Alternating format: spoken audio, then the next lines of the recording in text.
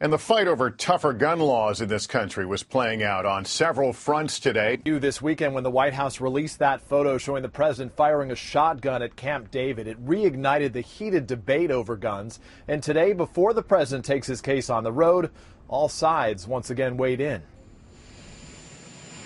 Tomorrow, during the first stop of his personal push for new gun restrictions, the president will sit down with law enforcement leaders in Minneapolis, where a gunman killed five people in a workplace shooting last September, a state where nearly one in ten people has a firearms hunting license.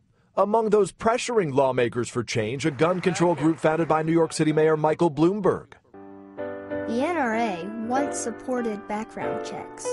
With this ad airing in Washington, D.C. during today's Super Bowl, we think it's reasonable to provide mandatory instant criminal background checks for every sale at every gun show. No loopholes anywhere for anyone. There's going to be law abiding people caught up in a bureaucratic nightmare, and there's going to be abuse in terms of prosecutions, and it's all going to affect only the law abiding people. The criminals could care less.